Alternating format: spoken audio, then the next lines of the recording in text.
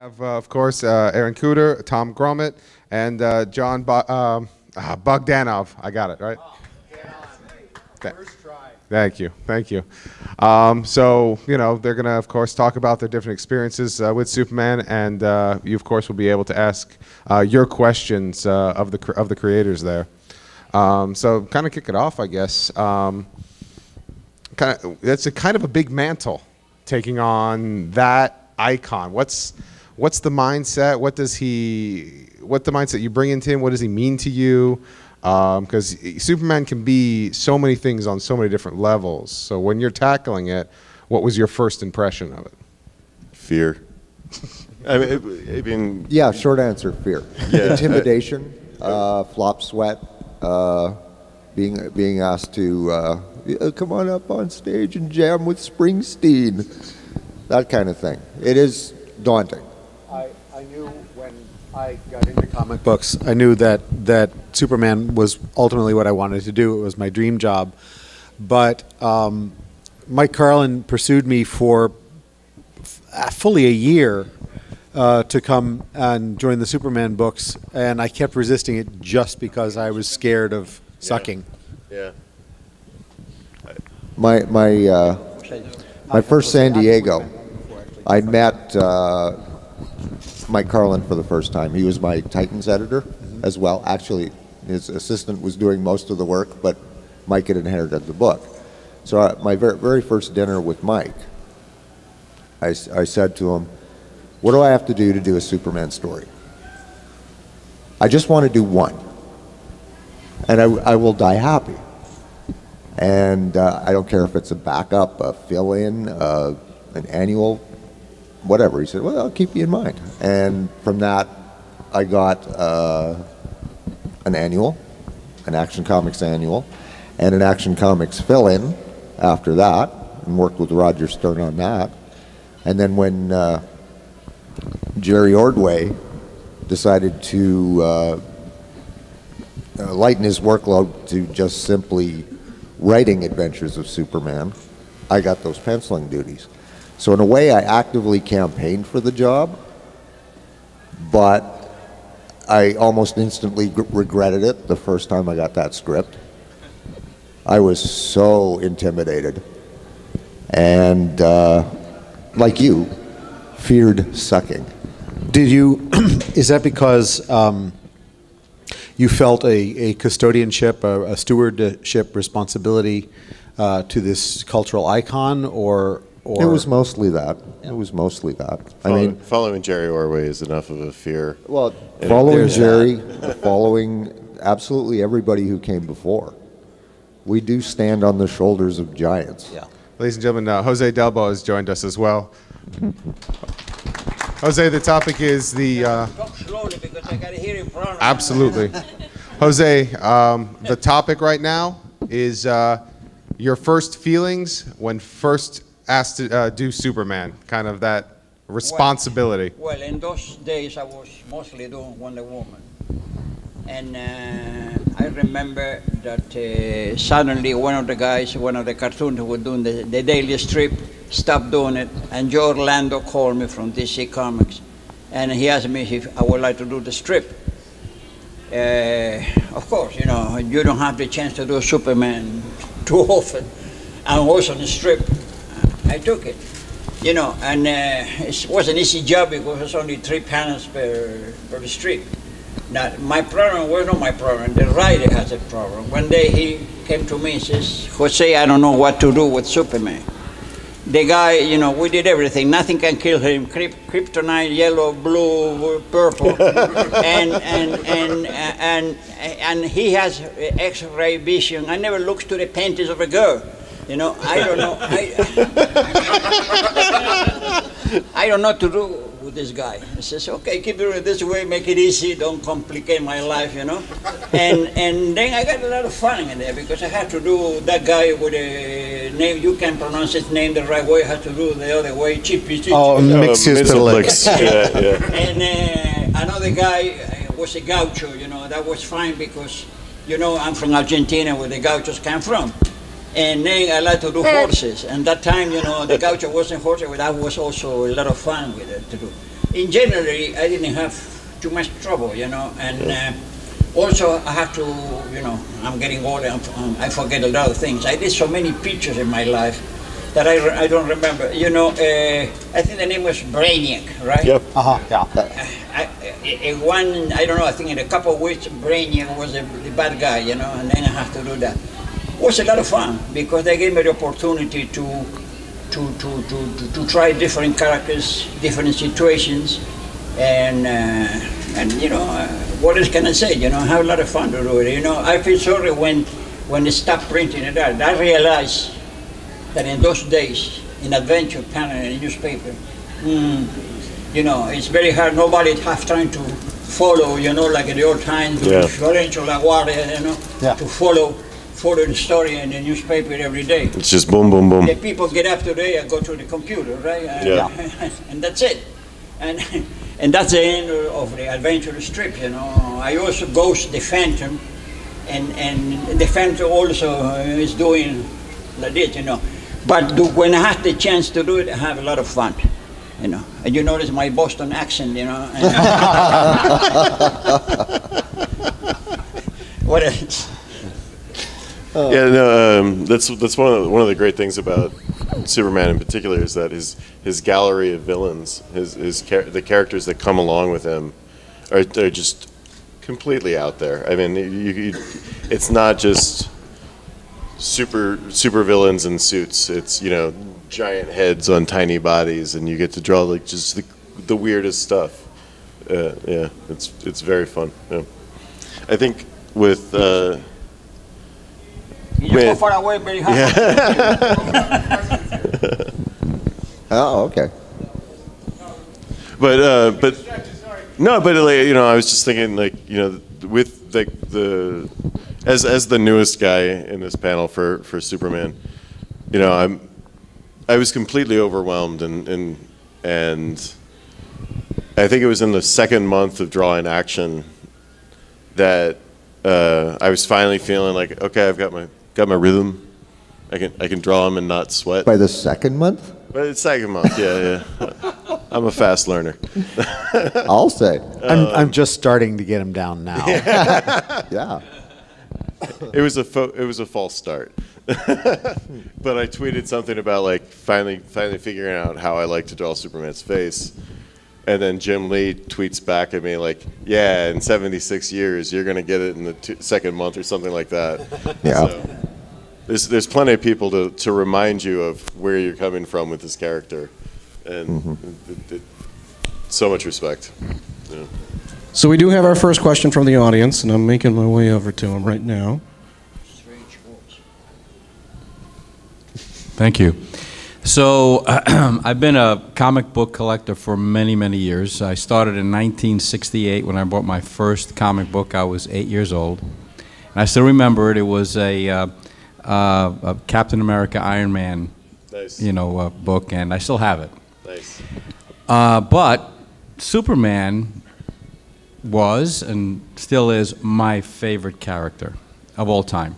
And I can still remember with my buddy Mario, who lived across the street from me, we're still buddies, and we go to buy our comics every week. We go, in those days, there weren't comic shops, right? They had just newsstands, you know, stuff like that. That's where you got your comics. And we go every week to buy our comics, and Superman was always the one that I had to get. I went to the to buy back issues when comic shops started coming in, and I bought all these back issues. And in those days, they didn't care. They put 25 cents in black marker on the cover, right? They didn't care about, you know, how the cover looked, and no one did. We just wanted the book, right? So I have a vast collection of comic books. But now to my point of the question. I am very, this is just me, I'm saddened by where Superman is today. I mean, I don't even buy the comic anymore. Um, I'm a, my favorite artist of all time for Superman, and I love all you guys, but my favorite is Curt Swan. He, his Superman to me was the best. And I, and I like those stories. I like the old paper and six panels per page, you know, and all that stuff. I like all that. I like the imaginary tales, you know, the classic covers that they had. So I love all that stuff. For sure. but I just the way I, I just I just can't get over what Superman is today. You know, is Lois and Clark, and he's this and that, and and I, I'm just saddened by what's happened to Superman. And I don't think sales are that great for Superman today because I follow the you know Yeah. Bleeding Cool you know website, and I look Yeah, at that. Yeah. so, so, so from the to the panel, and, and by the way, the death of Superman was tremendous. I was on the ground floor when that came out, and I remember buying all the comics and the uh, hysteria. If you guys remember, even on Wall Street, they were going crazy about that first comic Yeah. book, right? Remember that? And, I, and I'm a New Yorker. I live in Florida now, but I, at the time I was living in New York, and I You're remember. still a New Yorker. I'm of course. you, you never. I've met more you- New Yorkers in Florida than I. Oh, it's true. Yeah, well, you, once you're, in, I'm 44 years I lived in New York, so, in Queens. My mom still lives in Jamaica. But, um, uh, but, um, so, in your opinion, what do you see, you know, how do you like the way the direction of Superman has gone in? And, and if you had to do, if you, if it was up to you, would you do something different? Well, um, I'll jump into this dangerous subject right away. I won't be throwing punches anymore. You do realize they wanna work by, still, right? uh, by saying that, um, uh, you know, I, I take some comfort in the fact that uh, if I if I don't like a story or a storyline that's coming along, it doesn't mean that all those comics I loved no longer exist. They, you know, uh, I. I- I've come to understand that characters can die in comics and, and come back, and that and that nothing is permanent. So if you if you don't like what's happening at any given time, uh, um, a it doesn't invalidate the stuff you do love, and it also doesn't mean that that things aren't going to get better uh, in the future. Um, but I, in light of the things that you love, one of the things that that uh, Aaron told me a story last night that when he got a job drawing, we were talking about stewardship and how we uh, do have reverence for the character and the history of the character. And when he got the job to draw T-shirt Superman, um, uh, he was went. before we came up with the T-shirt idea. But, yeah. Okay, but he went out and he um, he bought long boxes full of old comics from before he ever read. Yeah. So. Um, so he has a his in, version of Superman has a firm grounding in all the stuff that you love, um, uh, and I th- I think that's um, to some degree, and I don't know if this is true for you, but for for my generation and pretty much anyone who came after Curt Swan, I think uh, we all uh, feel the weight of history. As Tom said, we stand on the shoulders of giants. And we feel the weight of history, and there are things we like in the past, and there are things we hate in the past, but, uh, but we're all, all pretty passionate about it and, and um, conscious of trying to preserve and foster what's good and lasting and intrinsic about the character. Yeah, I think I think. So I, in in many ways, I think this question is maybe not just to me, but like aimed at me.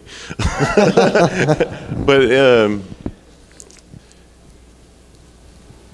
so with with T-shirt Superman, the the the original concept behind it was that we, we, we had inherited this Superman that we like Greg and I um, didn't feel it was the, the, the Superman that people wanted to read. And we, we tried to figure out ways to we, we talked we would talk for hours about what is the concept of Superman and what is it that people want from Superman and who is Superman and those answers are obvious. He's, he's not a hard character to figure out. He's, he's for truth, he's for defending the little guy, he's for standing up for when things go wrong and, and no matter what, saving the day. And that's like the under, underlining premise for the character, character description or whatever, every time. And so with depowering him, with taking away everything that we could take away from him, it, it has him as a character answer that question of does he stand up for the same things he stood up for before? And of course, that's a no-brainer. Of course he does. But it's the journey that we were trying to show, and and are still trying to show. It's, storyline's not done, but um, and in that, that was uh, that's really our homage to a lot of the the stuff that came before us, before the New Fifty Two in particular, of saying, like that's why we have the Fleischer T-shirt, the um, to say, you know, here's the character that could jump tall buildings and could, but couldn't fly, and um, it's a delicate balance. Especially the thing about any of these comic book characters is that you don't own them. You know, you, you you're being given a character to work on, and we come up with ideas to try to try to try to get by DC or have DC let us make, and it's it's a it's a roll in the dice. All we do is, is uh, bear the torch. We carry the torch forward. That's really the way I've always looked at it, is that Yeah. the torch ends up in my hand, you know, for, for whatever reason, and it's my job to carry that torch and then hand it off to the next guy. Right. And what they end up, when, what they end up doing with it, I have no, no control over. I have no say.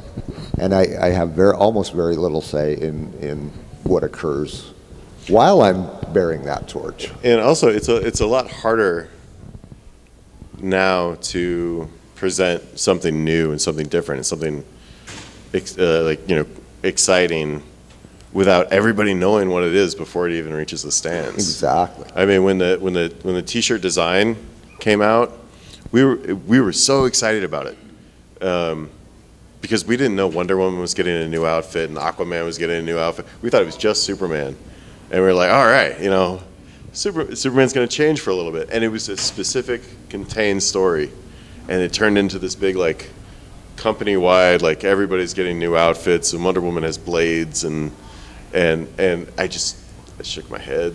I was like, ah, what can you do? Uh, Well, uh, uh, he mentioned about you ch- uh, Superman change. Not only Superman, all the comic books change. All the characters, you know. I did Wonder Woman for seven years. You know, every time I, try- I try to go a little, a little, you know, they call me on the DC office and says, Jose, you are doing the boobs too big.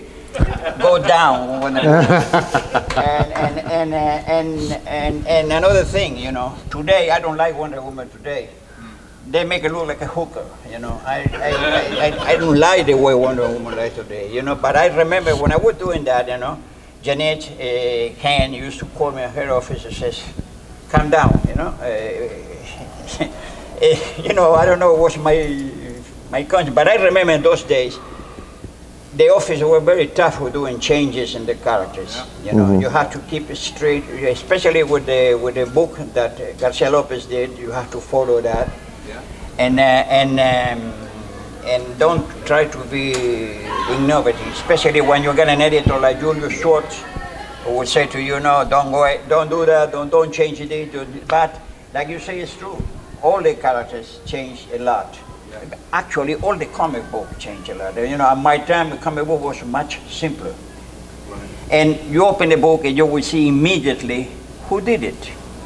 You know, you, you will see the style of Joe Kubert, the style of Carmine Infantino, the style of all those guys. Hmm. Today, for me, it's my opinion, personal opinion. Photoshop makes everything look alike. And, uh, and uh, I personally, I don't like it. But you're right, Superman changed a lot. So just as a, as a follow-up, um, when you look at the, you know, the way comic books have, have gone, right, and, and how things have, have changed over, you know, over the years, um, Superman has always been the, the flagship of DC, right? I mean, of superheroes. Of superheroes. of superheroes, that's true. Yeah. That's true. And, um, and if you look at, I mean, if you go back to the, and I've always been, I've, I've always had an opinion that the comic book industry, for whatever reason, and I get it, it's a business, you know, but they tend to, you know, oversaturate the, the marketplace when some character is hot. Right? Something is hot. Well, well, well we got to have another comic. You know, I mean, Punisher is an example of that. They had one comic that was so hot, then they came out with ten other, you know, different titles, and all of a sudden, nobody's buying Punisher anymore, right? And they tend to do that. But Superman, you know, when you go back, and you know, many of the people here are, you know, probably too young to, you know, to remember, but they, Whippersnappers. yeah. You know, they had, you know, you had the flagship title with Superman, then you had Superman, uh, Superman's pal Jimmy Olsen, and Superman's girlfriend Lois Lane. You had Action Comics Starring Superman. starring Superman, right? So you had all these these comics. So, so uh, today in in DC, and I'm sure Batman is probably the most popular comic right now. I think in sales it, it is for DC, and I'm, I think overall, is Superman still considered the flagship of of DC Yeah. By, It- by whom? by uh, by the well, company DC? by Or By DC? the, by the DC company. Yeah. I, I, I would say for sales, it's considered Batman. But everybody that I've worked with has this desire to have Superman succeed. Um, but it's it's just really like uh, there was a really I forgot who said it, but to write a good Superman story, you have to be smarter than Superman. Like it's a really hard character to write. It's a really hard story to like come up with something that's going to be innovative and new. And frankly, he's not a character that really relates that well with like the newer generations. I mean, he's a journalist. Like who buys newspapers? Like uh, just in just on that level alone. Um, but everybody wants him to succeed. Everybody knows that every kid, before they know who Superman is, before they know who Spider Man is, before they know who Batman is, they put on a towel and they pretend to fly. And that is the basis of like everything we love in superheroes and comics, in the industry in general. And that's that's why everybody at DC really does want Superman to to have that have that continue to make that footprint in history going forward. So I don't know if I answered. But yeah. excuse me, per- Yeah. excuse me. But today, everybody flies. Spider-Man, Batman. I don't. I only have Everybody control over flies. one at a time. Batman flying before. Now he flies. You know, whatever. they- You know. And, and, and you know and uh, that, that's true about the kids wearing the cape to look like Yeah. like Superman. Yeah. I was as a Yeah. kid. I used to, in my bedroom at, at, in, in New York, I shared a bedroom with my brother. Yeah. What, my bed was on this side, my brother's bed was on this side, and I used to jump Back and forth. Back and My, forth. my older brother has this, my favorite picture. of My older brother, when he was like five, he had two black eyes from jumping back and forth, and he went too far and he hit the brick wall. And, yeah. For, for me, it was tying a, a, a towel around my neck and, and jumping off the neighbor's carport. I, I was a garage jumper. Yeah, garage jumping, right. Garage jumping. I, I did try to zip line down a down a telephone wire and, and broke the belt once, but it was a short drop. You actually mentioned something I wanted to ask you guys about. Um, you actually mentioned it, it's, it's Superman's a hard character for people today to relate to, and this is a, an argument that you always hear comic book fans, especially Marvel fans. Um, they'll say, "Well, Superman's too powerful. You can't relate to him." And the common argument that I personally adhere to is that Marvel makes characters that you're supposed to relate to. Like that Peter Parker, you're supposed to relate to Peter mm-hmm. Parker. Superman's not a character you're supposed to relate to. He's someone you're supposed to strive to be. He's this he's this mythic but, figure. But that's that's Well- also like a hard story. Oh, it's a terribly Yeah, I hard mean, story, and that's what I was going to ask. With that totally different spin, do, one, do you adhere to that same mentality, and how do you approach re, you know, writing your own a- myths, basically? There's a, a tension inherent in the Superman concept uh, that divides people who write or, or draw him. Uh, and uh, it, it basically comes down to two schools of thought.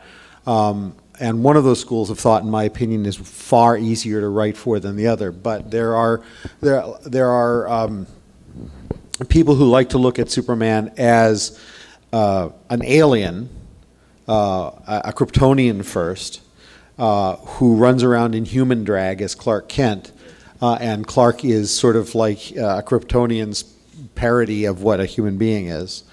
Um, Uh, and and so it's Superman. The alien is the is is the prime characteristic, and, and Clark is a disguise. And then there's a school of thought that says um, Clark is the man. He's and and Superman is the job.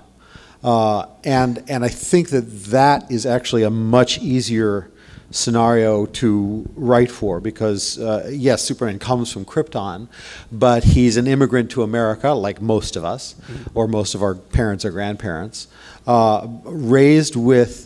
Uh, raised as a poor farm kid with the best of American values, the, the, the, the highest American ideals in the form of his parents.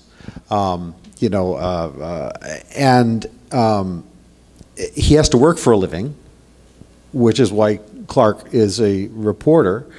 Uh, um, but like my take on my take on Superman, and this is why it's always easy to write for him for me, is that he is like anybody, any of us who. Uh, uh, I think all of us have an impulse to do the right thing and to try and make the world a little bit better.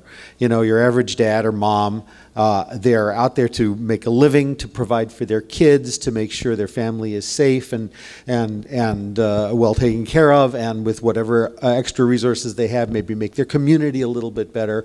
Whoever we are, we try to uh, uh, take care of and protect the people we love, and try and make the world a little bit better. And that's just what people do.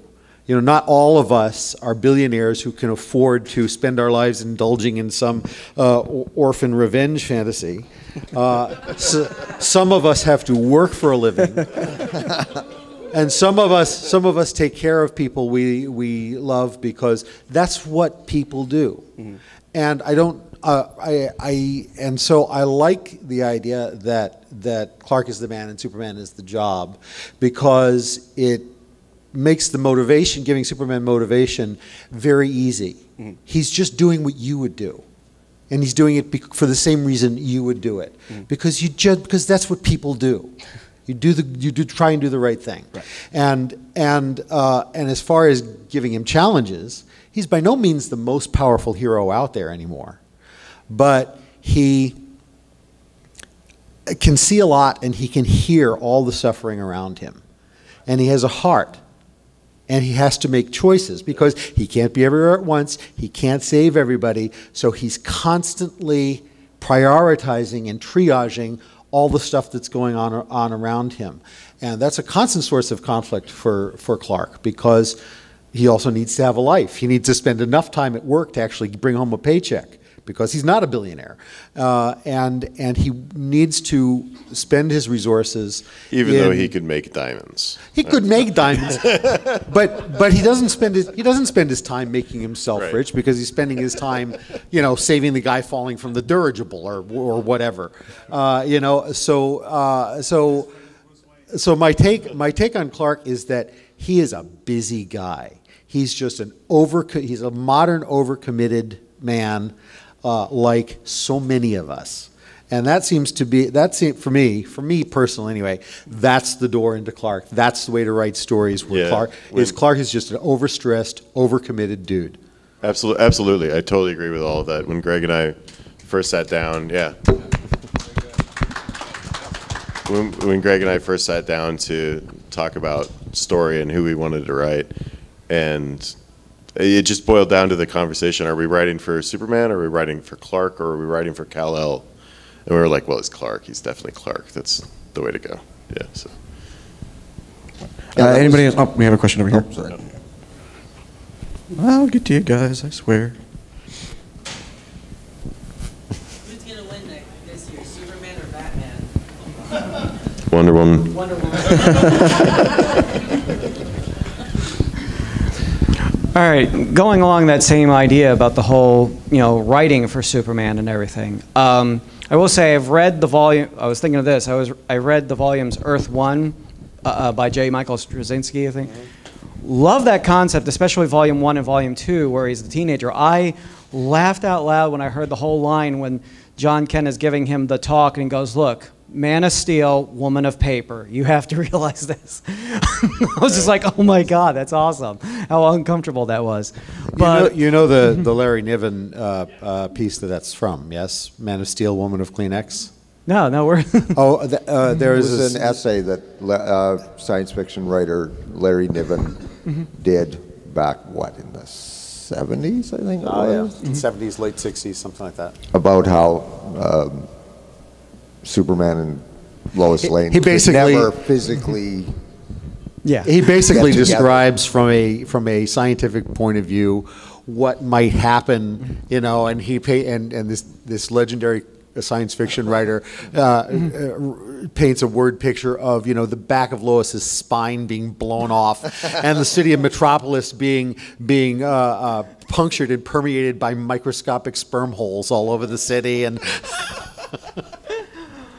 So Superman's a virgin. I, I never wrote that one. But uh, on my question, I, I was thinking at least this. The, the thing is, is that people say, again, I'm right there with you about the whole bet. Like, he's a billionaire and he goes around purchasing toys instead of like using most of his money to go help you know, the poor people, to help restructure to feed Gotham. people, yeah. But- educate. Yeah. But yet he's relatable. Um, but the thing is, they say, like, well, we need to see a, a Superman that fails, that can't save people, and how he has to deal with that moral dilemma, because that would be the Superman movie we want to see when it comes to film. And I'm thinking of a character similar to kind of Superman and that idea of, I was going to say this about the Doctor from Doctor Who, that mm-hmm. he's almost kind of like in that way If he's saving people, he's an ideal, he's got this magic box and everything, but he's also a guy suffering from severe PTSD because of the Time War, the way they did that with the new series. So is there something of like a major flaw that could be added to Superman that you guys would love to draw for and stuff like that, I- that could be added into that storyline? As a as a, a sincere Whovian, I'll, I'll jump right in. And so I don't mean to hog this, but but there there are I think a lot of parallels with uh, Doctor Who because they you know they both lost their home worlds, etc. But um, also, uh, you know, Superman fails every day. You don't have to you don't have to invent a weakness for Superman. You don't have to invent a situation where he fails at because he can't be everywhere. So for every person he saves, there's there's sometimes hundreds of, of people that he's aware of that that he makes the choice against saving because he he has to go where where he has to go where it's hottest, where he where he has to be. So uh, or wherever Lois is. yeah, or wherever Lois is, yeah, or Jimmy, because you know that he, he made the watch. mistake of giving him that, That damn stupid watch. I just wanted milk. yeah, See, and, and kind of, kind of to one side of this, I always Is- imagine. I've always imagined Superman like bursting through the window. What? An annoyed Superman. I, I think the problem that people tend to have is they really don't follow Superman, and they think he's far more powerful than he actually is. I think they have it in their mind that he's the guy who can throw planets around. When we were working on the book, Jon, I, I know you'll probably remember this, is that we were trying to keep things with when Superman was in, in doing his thing, we were trying to keep it as ground level as we possibly could. And uh, I was telling you this story Yeah. about uh, what Mike Carlin kind of told us, and I don't know if you remember this, is uh, he pointed out in the, uh, the first Superman movie, one with Chris Reeve, that there was a, a crystal clear moment that, that showed us roughly the kind of thing to keep in, in our back pocket. And it's the scene where Lois's car is under the dirt, and he lifts the car out, and he pulls that door, that car door off. Now, if you watch that scene, Chris Reeve plays it perfect. He doesn't act like it's a big deal. He doesn't act like he's, you know, really working at it or anything like that. He just grabs the door and he tears it off. And he said, people can understand that. They can understand, they can't maybe understand pushing over a building, but they can understand that there may be times that they want to tear a car door off. And that is a relatable thing. So the kind of power level that you're, you're thinking about is, is probably the thing that, that most people ha use or is, is the impediment to kind of relating to Superman. To me, Superman was always very simple and relatable to because I grew up from prairie farm stock and you, as Jon says, generally people want to do the right thing. And when you come up, come from that, you help your neighbor. That's what Superman was to me. He was your neighbor. He wasn't there to save you or to protect you. He was there to help. Yeah, I think I think the stories that that when they focus on Superman as an alien or Superman as an outsider, um, I think we we've touched a little bit about the, uh, that in our last in this last story arc, and the way that we do it is not more more of it's not a criticism criticism of Superman or or making him anything other than who he already is but rather how our, our media and our perceptions are led astray by, by, by, by you know, the internet or the, you know, trolls, bleeding um, but, but more so uh, of, of like, the, you know, like, like Trump, you know, like the, the, like the, the bandwagon is moving forward and, and, and, and people get caught up in that idea and they don't they don't take the time to learn who he is. Also, you have to like, especially in our reincarnation of him, it's not really the same. Um, he's supposed to be only five years into the world. Like he's not, he hasn't been around for a long time, and he doesn't have the reputation. Mhm. Uh, but He's at the start of his career. There's a there's a, uh, uh, a con- continuous problem whenever you're dealing with superheroes or larger than life uh, mythic characters uh, that uh, um, sometimes called creeping powers syndrome. And uh, Superman has suffered from that, but he's certainly not the only one. But I and his mean- career's been long enough that he's we, he's Yeah. had to been From pe- periodically, you have to You have to dial scale back. You have to dial it back like Jose Delbo's boobs. You have to just sort of just, just ratchet it in a little bit. Uh, um, and uh, so part of that is just acknowledging that um, Superman is not the most powerful character in the DC universe by any stretch of, uh, of the imagination. And I think that uh, um, if you if you keep his if you keep his powers the traditional classic Superman powers, there's more than enough ways to give him opponents and difficulties. Well, when my case on Superman, I went to when I did I was doing Superboy. I think I did all the characters from uh, for DC Comics. From Superboy, I saw Superboy growing into Superman, you know, uh, and also I did Jimmy Olsen, and uh, all the characters, also Supergirl. That means I'm very familiar with all the characters of, of, of Superman. But uh, I think the guy is, is unique. Everything this this gentleman I'm talking about the character, I think is really true. And for me, it's very important that Superman stay being Superman, you know, because they created a bunch of new characters to overpower to make it better than Superman. I don't think they will change that thing. You know, Superman will be forever. Going off what you said, you talked about failure for Superman and what he could do, but we have had some versions of that. I mean, have you guys ever read Injustice? Gods Among Us? Sure, but I mean, I can't keep track of all the various different continuities and which Superman in which reality. And I mean, there are, since Convergence now, there are 62 universes, all of which have their own continuity. I can't keep track of the It's- continuity of one universe. It's the one where Superman accidentally kills Lois and blows up Metropolis. Yeah, no, I'm, I'm roughly familiar with it. It comes from the from the video game, but Superman would make an awesome dictator. I hate to admit it, but he did a hell of a job doing that. awesome dictator, but okay. I'm just saying. the, the, the very I, I like the fact that you think there can be such a thing as, As an, an awesome, awesome dictator. right. That's not what I. I'm. What I meant is that it's the basically that version. What I like about it is it shows us what History Superman could do if he want. It shows that Superman could very easily rule the world if he wanted to. And he Well- does it to end all war, all famine.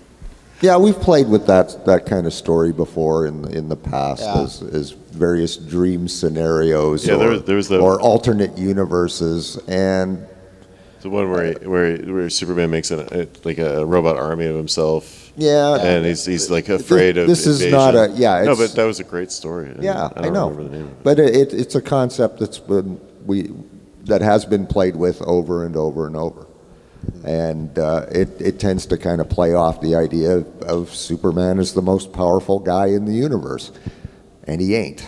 And he ain't. Also, also, anytime you, you write a story like that, you have to uh, somehow sidestep one of the core characteristics of Superman. Right. Because I think I think one of the themes that's developing uh, among all four of us here is that uh, Superman isn't a certain set of powers or a certain level of power or, or a certain costume. Uh, um, so he can wear t-shirt, a t-shirt and jeans and still be Superman. He can he can uh, uh, be without powers and still be a char- uh, still be a man of character that is of super level. It's not the powers; it's the heart. Right. In other words, he wouldn't take over the world. He wouldn't be a dictator. Okay. So you so in order to do a story where Superman becomes a dictator, you have to uh, you have to find some way to explain why he would do that. You either write him as a different character, in which case he's not really Superman, or you have to create some sort of rationale that that justifies what you want to do with the plot. It's not necessarily an easy fit to do. Yeah.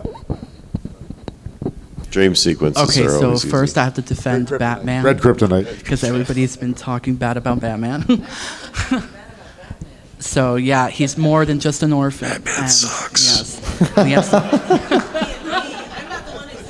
yeah, but I understand what you're saying with the Superman books. That so far as the younger generation, at least for me, my favorite Superman stories are where he's either evil or the B word, just because there's children in the back. Um, with Injustice, there's Red Sun, Earth One, he's pretty badass there, and all of that. So, and now with Man of Steel, they're giving him more attitude back, where Batman is talking to him and he just turns away, doesn't even let him finish the conversation. So, my question to the panel would be, where do you see his character going in like 20 years from now? Since Wonder Woman, you're saying, and everything, Batman and all of that, they're going, everybody's going dark. Even Marvel is having that trouble too, where they're going darker too. Do you see us going back to more campy or classic, or do I you see us going even darker I wish that was the case. Yeah. If if it if we're it's so much funner to tell those stories that are campy and fun and, and energetic. and light and yeah if if the if if the uh, if the direction that everything is headed is just ever darker And I, I, I'm not I don't, sure I, want to think live it there. is. I really don't think it is because, like, if you just look at the history of like uh, of, of the, so we, we did Super Doom, and where Superman is infected by a Doomsday virus and he's turning into Doomsday, and it's dark, and and um, sales were good. You know, everybody people were happy with it, but uh, you look at the most popular book, uh, action book that, that we made last year, it was Bizarro. And it was on Bizarro World, and there was the Cheese Moon and Square People, and it was fun. And, and it's one of the, I had so much fun drawing that issue. One of the best-selling issues uh, of my entire run on Man of Steel was were the two Mxyzptlk stories. You know, the first one, which uh, uh, basically was That one giant Lobo. fart joke. you know, uh, so. Um, uh, and I would be quick to point out that you can't be doing fart joke Superman stories uh, as a rule, but to occasionally be able to do a Bizarro story or a Mxyzptlk story or something with with uh, uh, a, a lighter take on it uh, is really sort of a necessary leavening, especially in an era of dark comics. And they usually do really well. Yeah, yeah, and, and, and they're really fun to do. I just wanted to follow up on what he actually was saying. Um, Uh, just a comment and a question. um, I kind of disagree a little with what you're saying. Uh, the whole, I don't understand the relatable part of uh, having to relate to Superman. It's fantasy at the end of the day. We don't have to relate to everything. You know, there's crisis in the world, and we get up in the morning and read papers of death and destruction, and have to go to work or sucky jobs, right? And then come back home and you know deal with the family, and then you know, who don't you want two hours of just you know, awesome fantasy. Lying right? around, saving the day. Absolutely. You know, I agree more with the the older uh, part of the guys on the panel who are the creators. Um, uh, I'm I'm curious uh, with the follow up. Uh, you know, David Ayers, who's doing Suicide Squad, just made a comment last week and said that um, he's always been excited to do a super villain movie, and because he's he finds superheroes boring, and and uh, and and heroes are just boring. We don't like good guys anymore. And uh, you know, to follow up on the darker edge of things, you know, um, I don't relate to Darth Vader, but I love Star Wars. I can't relate to anything that Darth Vader does. Nothing, you know, or or Gandalf. You know, it's like, but we love Lord of the Rings. You know, why is there this, especially with the newer generation? Why is this? Um, I guess this. Uh, concept of having to relate to Superman. You know, I, really quickly, um, I believe he is the most powerful being in the DC universe. And there's a scene in um, Superman Returns, which I, I like more than Man of Steel, where he shoots up into the air and he's in space and he is listening to everyone's you know all the, the stuff that's going on in the planet. And i think in that moment when you see that scene it, it really explains everything about who superman is. Yeah. he can't be everywhere all the time and he has to deal with that on a daily basis. I, I think his greatest superpower is that he is the the most powerful being in the universe and he can wipe out the universe if he really wanted to. And his greatest power is not doing that. You forgot about Darkseid, and I can name a few dozen others who seem to kick Superman's ass. So, I think um, on the on the on the level of uh, you know Superman hearing everything and, and knowing everything. That that's that's the trauma. That's the daily trauma that he goes through. I think that's that's a gorgeous story that I don't think has been exploited enough. I I, I, I know we haven't dealt with it much, but that idea of I mean, that's it. And, and um, man, I, I, if I were Superman and I had that ability, I'd be just bawling every day. Curled up on my All- bathroom just, floor. Just on the puppies I couldn't save. You know? I- I get I get overwhelmed with just all the stuff I have to do as a regular human dude. Can you imagine Yeah. Superman's daily to-do list? yeah. You know, That is, that's it. Yeah. Yeah. That can well, like that can be a story. That is a story. Well, it, it's also it's also just sort of uh, you know you can actually you could build a story around that, but it's also sort of just a um, an, an angle from which to approach Superman when you're telling a Superman story. One of the ways you can think about him is, oh, he's a man with way too much to do. He's a man with too much on his plate, and and and uh, this was actually coined for me by by Weezie, and it informed the way I would tell a Superman story and the way I would set up uh, scenes. You know, like like you know, my Daily Planet City room is a really busy, bustling place. Uh, my I have Superman fly closer to street level a lot because I want to see see that there's, you know, I don't want just the nice, neat Wayne Boring skyline in the background. I want to see uh, trestles and overpasses and people and windows and cars and stuff going, so that the, so that I'm always trying to convince, uh, uh, convey a sense that that man, Superman is up to here with stuff to do all the time Yeah. That his world is crowded with stuff to do and he can't do it all and and so it's it doesn't necessarily become a story point so much as it becomes uh, um, one of the backdrop one of the avenues by which that I keep in mind as a way to characterize Superman and how to depict his world to convey that just chronically Yeah, yeah, We- absolutely. I we mean, have- it, it, with the relatability in particular, like he doesn't need to be relatable. Like we, when we when we took away his powers and we put him in a T-shirt, that wasn't about making him more relatable to people. That was about putting him in a situation where that he hadn't been in in, in uh, well, I mean, he's 76 years old. He's he's he's been in every situation before, but in recent history, he hasn't had to answer that question of with nothing, everything to lose, nothing to gain, would he still stand up for the little guy? And yeah, yeah, he would. I mean, of course. We have time for one more question, so no pressure. Make it good. Gentlemen, thank you. Um, I just wanted to ask a simpler question. Since you were talking about the stewardship of the character and what he represents, I would ask, what is your favorite personal Superman story? Now, it doesn't have to be the one that you've worked on or, or anything else. I'm just wondering what encapsulates or shows the character it, at his best.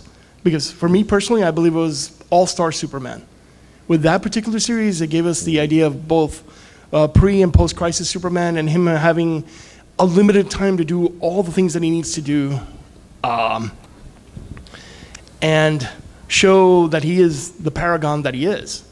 So, please, which stories would you decide uh, would encapsulate that? I, I, I I did really enjoy uh, All Star Superman, but not actually for the, the, the characterization of Superman, but rather for the, the, the way that they told the story, in, in that almost like every issue is a one shot, like uh, evolving Herculean uh, uh, trials. Um, that's a really tough question. That is. Yeah, yeah, that the- is- I'm trying to. There's like trying to wrap elements that you head- could take from each, but it's like going you know through my mental Rolodex right now and coming up dry. How many how many Superman stories have there been in 76 years? Exactly. You know, particularly when you take into account every radio play, every Fleischer Movie. cartoon, every Yeah. movie, every episode of the Television TV show. I mean, how many how many stories have have there there been? It's it's really hard to pick from something like that. What- Yeah. What do you think? Do you have a favorite Superman story?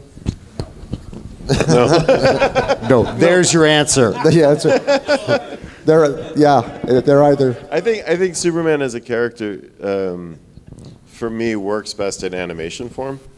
Sorry, but but You're putting all of you out of a job by saying that. no no no no no. No, they're- It's they're- always Well, a challenge. This is what's this is what's called a personal opinion, and I that's think kind Batman of allowed. works better in comic book form than in in TV Film. form, or you know, um, because you can play with the, the, the it, it's just a visual thing. You, you can see him kind of levitate, and then the cape wavers, and the, and then whoosh, and great artists can capture that in a panel. But I think it really it, it's just a it- it's a lovely thing in the anime, especially Max, my, uh, the Max Fleischer years. Yeah, Uh, yeah. I think like- Mechanical Monsters might be the best Superman story ever. Yeah, yeah. Yeah. Agreed. Um, but but it's you know Or what's the one with Lois Lane and the Tommy gun? Uh, uh, oh that's so great. Yeah. oh Lois is so hot in that. Picks up the Tommy gun. Starts blasting away. Yeah yeah. I used to love to draw Lois for some reason wearing a bomber jacket and jodhpurs. I don't know why. Right, right, in the right. '90s, she'd Yeah, go you around in kinda had a bomber jacket that. and the bomber because and and it's from that. It's from that scene where she where she picks up the Tommy gun. and It's like. badass Lois. I love yeah, badass Lois. yeah, for sure. With her Elizabeth Shue hair, though. Yeah, exactly. Yeah. exactly. Uh, I, I- you know, I think uh, your question would be a lot easier to answer if we were picking our top five. Uh, but but uh, Superman stories. You can say that Superman is a, is is uh, a part of uh, our mythology. He's a mythological character, and and that and the very essence of myth is that they are stories that are told and retold and retold. And uh, you know, people complain, "Well, how can you come up with something new for Superman?" Blah blah blah. No, you're just telling you're telling the same stories essentially for a new generation uh, because there are there are certain stories, certain storylines, and certain situations that are intrinsic to the Superman myth, and and they they have uh, you know every generation is going to take their shot at the classic motifs, um, and so to it'd be hard for me to pick any any particular one Superman story. I like Mechanical Monsters. Of the stuff I've done, I think maybe the uh, the the Superman and the Holocaust uh, issues in 80, 81, and 82, where where I tried to draw like Joe Shuster, and and um, you know, there's the there's the one where. Uh, up, up until that point, Superman has been a man of mystery, just zooming in, getting the job done, and zooming out. and uh, uh, avoiding being avoiding Lois because he doesn't want to give interviews. He just wants to get the job done and move on. But um, but he's gaining notoriety anyway, and he he becomes the symbol of uh, the American Nazis uh, party, who was who was sort of rising to prominence in 1938, and uh, so Superman crashes the Nazi rally, and uh, and uh, you know reads them the riot act and smashes the swastika and all that, That's- and that's- so that that versus Nazis is always a like versus a- Nazis. yes. Oh yeah, yeah, yeah. Anytime, anytime Superman can punch Nazis, I'm I'm there. Um, so so that's that's that might be my favorite. I also uh, um, I also like the Mxyzptlk story and the Bizarro story and Yeah, that stuff yeah. too. Uh, how, um, refining his question, uh, what is each of your favorite Superman story that you have participated What with? about me? okay, of of all the Superman work you've done, Yes. do you have any that is your particular favorite of the Superman work you've done? Well, you know, I have to choose. It's complicated because I did Superman also for the comic book World Finest with Okay. Batman. So that would that include that? Yeah, yeah, I think that World Finest, uh, I like it much better than than- because I have more opportunity to draw many many different things, and I was not restricted by uh, the panel the panel shape. Sure, Mhm. yeah. And besides, I was lucky to have a tremendous inker. Nice. Was it Oh, Joe Giella on that? Who, who who inked you on that one? Joe Giella? You know, now I open my mouth to fun because I forgot his, his name. No, was a, uh, was a great guy uh, from Philippines. Uh, but, oh, Oh, oh, uh, do you remember any of the guy? You know, I don't. you don't. No. I'll I'll think of it when we're downstairs somewhere, and I'll, I'll scream it out. Yeah, yeah. Wait, wait, from the Philippines. Alfredo? Alfredo Alcala. Alfredo Alcala. Yeah. Okay. Thank you. Well done. Alfredo Alcala. He was he did a tremendous work in my pencils. It was engraving actually, you know, it was Yes. line Yeah. by line, you know. It was beautiful. Incredible, incredible ink. Yeah. I enjoy doing the, the comic book and also I enjoy seeing the final art because that, the guy did an incredible thing. And, you know, that eternal fight between who is better, Superman or Batman. Yeah. Yeah, yeah. Superman. And uh, one thing they try to do you know, now, today, no in the, in the old days, they try to do Batman, you know, a guy better than Superman, but it's, they're two different characters. Batman Yeah. is more a detective than a superhero. Yeah. Unfortunately, then they make it fly now, but uh, Batman didn't, didn't fly before. I don't know. But uh, uh, that's that, that's what I enjoy Superman was Yeah. doing the world finest. Yeah. Superman and Batman are sort of the yin and yang over at DC. Yeah. Yeah. Yeah. Uh, what are your personal favorites of the Superman stuff you've done? Mm. Uh, personal favorite was, uh, I think, uh, the death, the funeral, the return storyline, just because it uh, was a, well, I mean, the entire time we were working on Superman, it was this gigantic collaborative uh, chaos and uh, Happy chaos. happy chaos. I I just I don't know and I just lo- I just love that environment. And the, character from the the greatest thing that, that came out of that was that particular storyline. And I think uh, I, I feel a tremendous amount of pride at how how how well it stands up. Yeah. It's Okay. it's stood up pretty well over the intervening years, and I think mean, that's the true Oh, it's, test. it's a looming shadow. Yeah, it's a for, looming for us shadow. now. So, And uh, I'm sometimes amazed that, that, that given uh, this, the size of the thing and all the nonsense that was going on around it, because, you know, there's a, people seem to think this was a planned thing, no, I know. And when it absolutely was, it was impossible to plan. We figured we were And just telling a internet. story. Just telling it a was story. pre. It was pre-internet. We were telling a story that we knew, and our audience we felt was simply the comics audience. Mm-hmm. It was the rest of the world that went insane. They went berserk. They went berserk, and we couldn't we couldn't believe it. We couldn't like what? So is there uh, is there any particular though bit that you drew that uh, um, eh, is like one of my like one of my favorite moments is in in Funeral for a Friend, where Weezie wrote this scene where Ma and Pa Kent have to watch uh, Superman's funeral on television, and it's the funeral of their child. Yeah. And they can't tell anybody. Yeah, that was heartbreak. I remember You know, those panels. Yeah. That's so, and it, it, I mean that was so hard. I sometimes choke up when I just describe Yeah. it.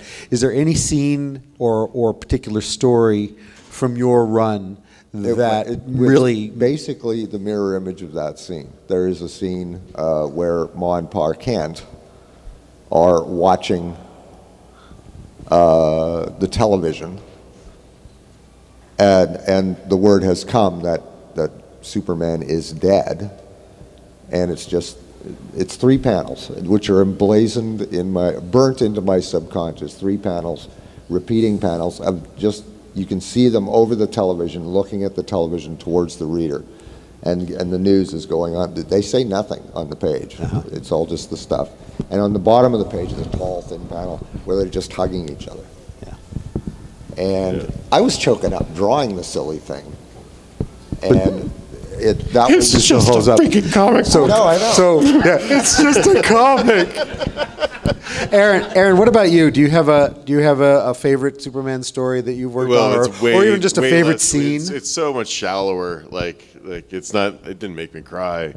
Um, uh, well, the, the the Parasite issue. There was a Villains Month book that I did. That was the first time I got to write and draw a book, and just me. First time I worked with my colorist Tomeu Morey, who is just beautiful. Um, that was like just like kicking down the doors every day. Every every room I walked into that day, I was like bathroom, boom, kitchen, boom. I am here. This is awesome. Do you remember the, the issue or the issue number? No, well, it's it's the Parasite issue of the Villains Month. I think it's like Superman twenty four point five. There's like a decimal point in it, so Oh, I for never. God's sake. Yeah, I know. um, well, they did it. They did it every every every week. They did a, a new Superman book. Yeah. Crossed out the name and then put a Villains Month over. Um, okay. That and uh, we had we had Superman grow a beard at one point, and uh, in the Bizarro issue, we, we were I was we, issue was written, and I'm I'm trying to be fast. I know you guys gotta. Um, issue was written. There was no room for it, but my edit, Eddie, my editor, calls me up and was like, "We got to get rid of the beard in this issue." And we're, we're like, Greg and I have been talking about this long scene of like him looking in a mirror, and he's he's like losing his powers, and he's like trying to shave it off and, and all this stuff, and just this very serene moment. And I'm like, it's a bizarro issue.